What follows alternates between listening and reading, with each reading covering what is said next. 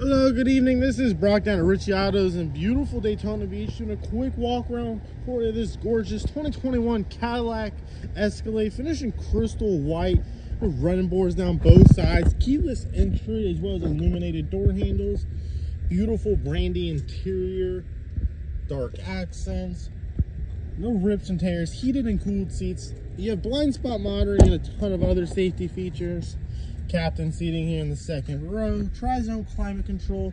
Third row's in really great shape. You do have a panoramic sunroof. This is the premium luxury. Brand new tires.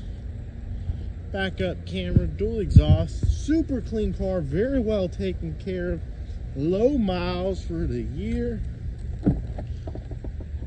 Just 62,000 miles.